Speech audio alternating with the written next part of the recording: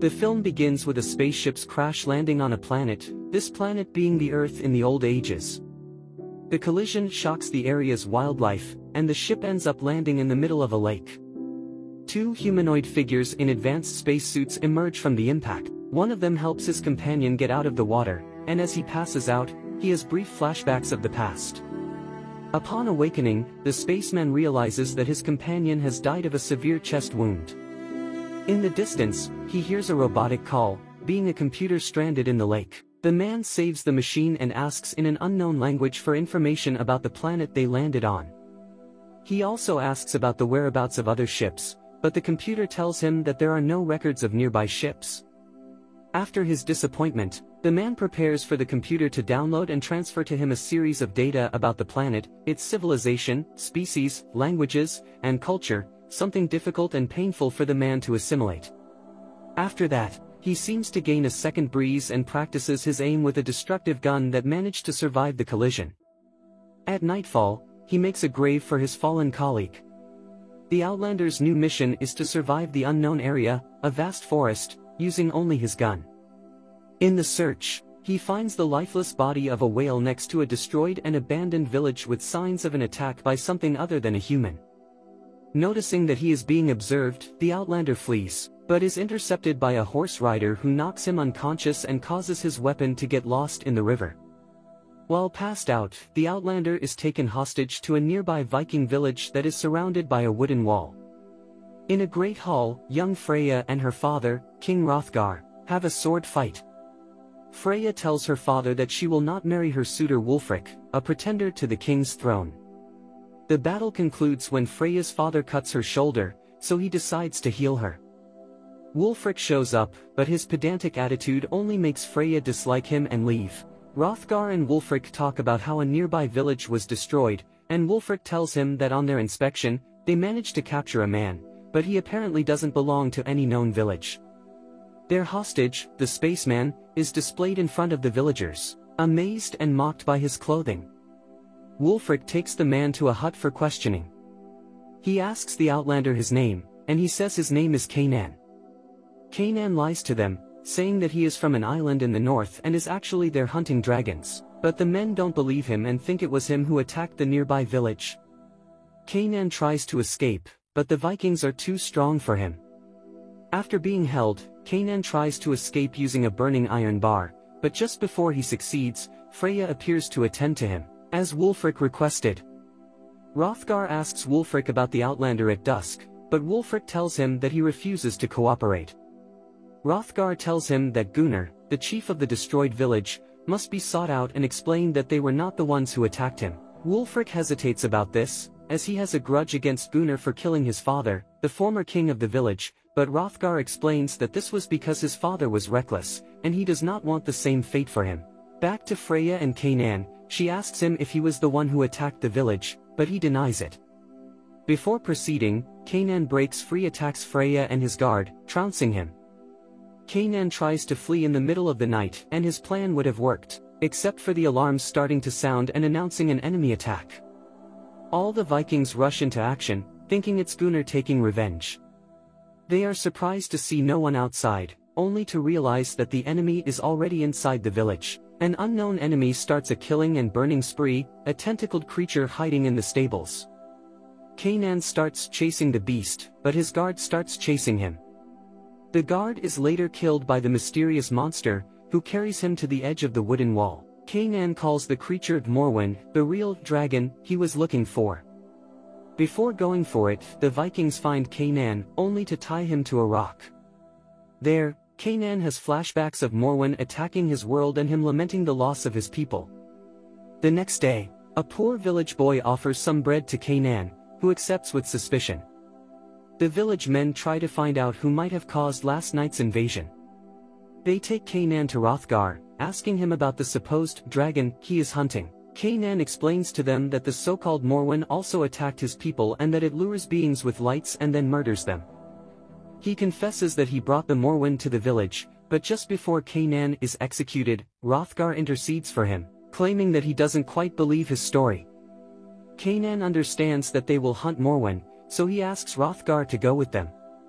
The Vikings give him a horse and Freya a punch for the earlier attack, and it is then that they leave the village to look for the beast. A smith named Boromir offers Kainan some mead, but Kainan spits it out. Hrothgar strikes up a conversation with Kainan, and he tells the king that if they don't stop Moorwen, the village will have the same fate as his home.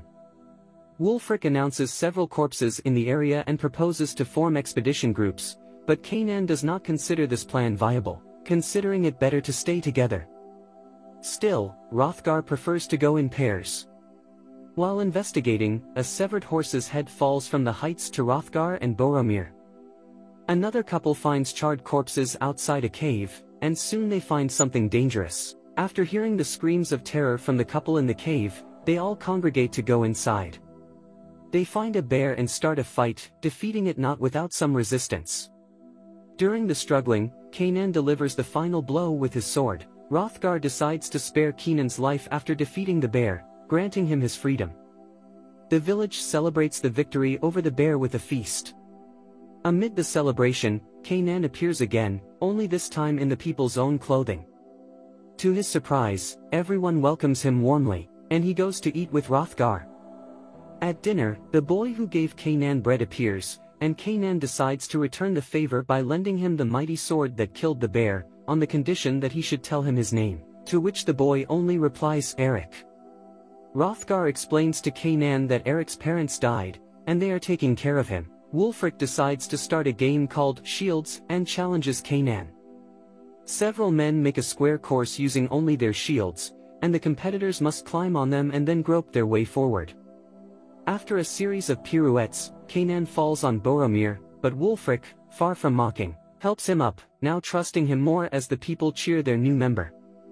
After leaving the Great Hall, Kainan meets Freya, who thanks him for helping her father on the expedition. Kainan explains to Freya that it was not the bear who killed her people, but the Moorwen, and that it will return any time. Suddenly, Gunnar's Viking group begins an enemy attack, bursting into the village. There is a clash of swords between the two sides, with Kainan and Freya killing a couple of enemies each. Hrothgar encounters Gunnar, who charges at him, knocking the king to the ground. Before killing him, Kainan appears to save Hrothgar, but just as Gunnar was pulling himself together to counterattack, his men tackle him and take him away, claiming they have lost and it is time for a retreat. Gunnar's group leaves, but not without Gunnar cursing Hrothgar, accusing him of being the murderer of his family and people. The village tries to recover after the attack, and Freya explains to Kainan who Gunnar is. Years ago, Wulfric's father wanted to gather all the villages to plan an attack on the Franks, but Gunnar did not show up, feeling this as a betrayal, so both villages have reason to hate each other. Gunnar's group plans on their subsequent attacks on Wulfric and his people.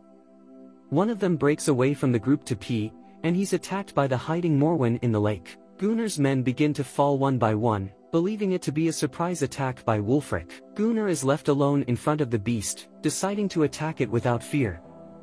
In the village, some of Gunnar's men appear screaming and surrendering, wanting to go in so as not to die. However, Wulfric thinks it's a trap, so he prepares his archers to shoot, among the men appears Gunnar, who survived the Moorwen and now calls for help. The archers fire, killing some men except Gunnar. Kainan asks them to stop shooting, and after this, he opens the village's gates for the enemies to enter. Just as Wulfric is about to hit Gunnar, everyone sees a series of blue lights catching a man in the forest and then devouring him. The blue lights turn red, revealing the wild Moorwen, who escapes into the woods. Now everyone knows of the creature's existence. There's friction between Wulfric and Gunnar in the Great Hall, with the latter claiming that hitting Moorwen was like hitting a stone wall.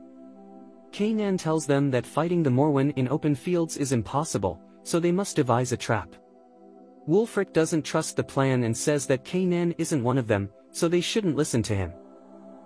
The two try to fight but Hrothgar separates them. The king favors Kainan's plan and says that what he advises will be done. The next day they decide to build a trap at the village's entrance, and Kainan requests flammable materials for some reason. They dig a pit several meters deep, which they hide as if it were just another hut. Inside, several poles are driven into the ground, filled with various oils. After everything is set, Hrothgar offers Kainan a position in the village, making him one of his own. Meanwhile, one of last night's victims wakes up surrounded by corpses, only to be finished off by Moorwen. In Freya's hut, she and Kainan share a bowl of stew, and that's when Kainan has something to confess. His people, Kainan's society, are actually conquerors of worlds. Upon arriving in Moorwen's territory, they wiped out its kind with bombs. The remaining Moorwens were hunted down to have dominion over the place.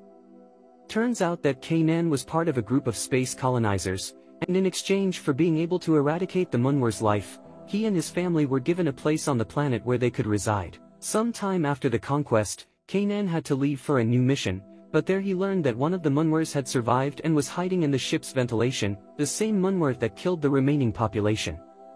Kainan blames himself for that slip-up, but Freya tells him that he shouldn't be so hard on himself. Likewise, she gives him her family's sword to fight better. They all prepare for the trap, now with Gunnar's help. The warriors open the doors, and Wulfric and Kainan go outside, waiting for the beast to appear. They couldn't see much, and since nothing was happening, Kainan throws a torch into the forest, only to realize that the Moorwen is right in front of them. Out of nowhere, the village priest appears praying for the beast to leave, alleging it is a Lucifer's emissary. He's killed on the spot brutally, so Kainan and Wulfric start to run, passing the water trap and using the shields as a platform to escape to the other side. Still, Wulfric falls into the water next to the beast.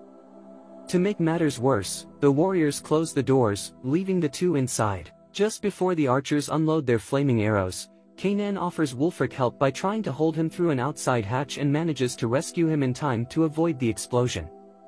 While everyone is surprised by the explosion, a new, smaller Moorwen appears from behind in the area where the women are hiding. To protect everyone, Freya decides to attack. Her father comes to the rescue, but a brief struggle against the beast leaves him helpless. As if that weren't enough, the first Moorwen reappears from the fire, angrier than ever. Wulfric and Kainan decide to attack together, but they are no match for the monster. Gunnar chooses to help, but he's decapitated in a flash by the first Moorwen, who then flees.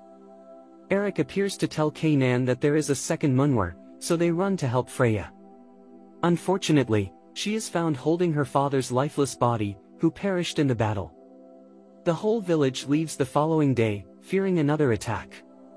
Eric tells Kainan that he wants to stay with him in the village, but Kainan tells him that the place is no longer safe, so he has to leave with the others on the boats. He promises the boy that they will see each other again and then say goodbye.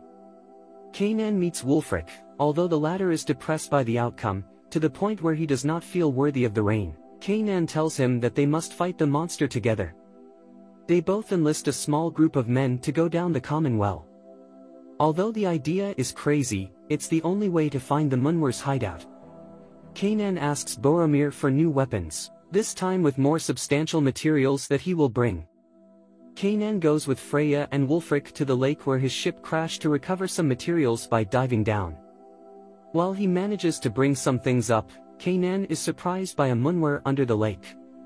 When he gets to the surface, he sees that the boat they were in was destroyed, only finding Wulfric, but with no trace of Freya. Boromir manages to forge a new sword, larger and stronger than any other. Already prepared, Kainan goes down the well until he finds a subway grotto. He waits for the others, and they begin to advance. Freya wakes up terrified, finding herself in the monster's nest of corpses. As she tries to flee, one of the beasts finds her. Before attacking, the beast detects intruders, so it abandons Freya to go after them. Kainan's group ends up in a cave with access to a lava floor. Soon they are attacked, managing to find the Moorwen's lair and wounding the smallest specimen, but with heavy casualties, including Boromir's death. Freya manages to get up, and they call out to each other. Just before entering a dark place, Freya detects danger, and the wounded Moorwen appears, unable to see her and now helped only by sound. When they find each other, both the men and Freya make enough sound for the beast to attack, and Freya barely has enough time to dodge the smash. To reach her companions, Freya must traverse a narrow passage, too tight for her frame. With no alternative and driven by desperation, they entrust her with the sword, and she swiftly dispatches the monster barring their way.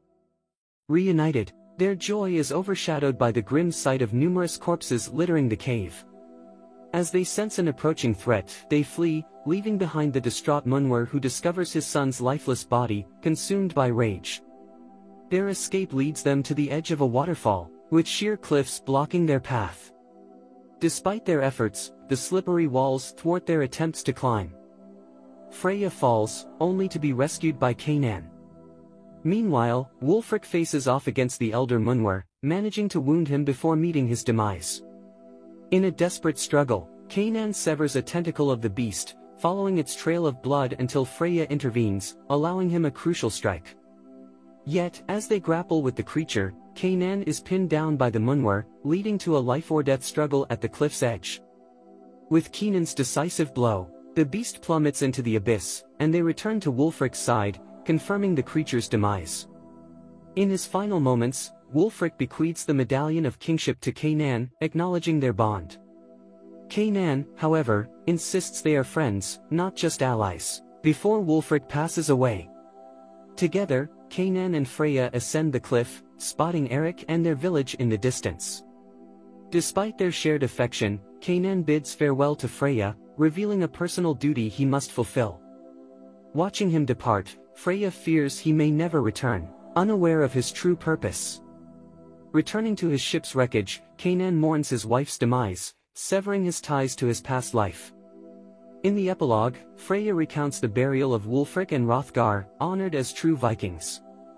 Kainan, once a stranger, ascends to kingship, with Freya as his queen and Eric as his adopted son. Freya reflects on Kainan's sacrifice, as he chose to remain with them despite his divine origins.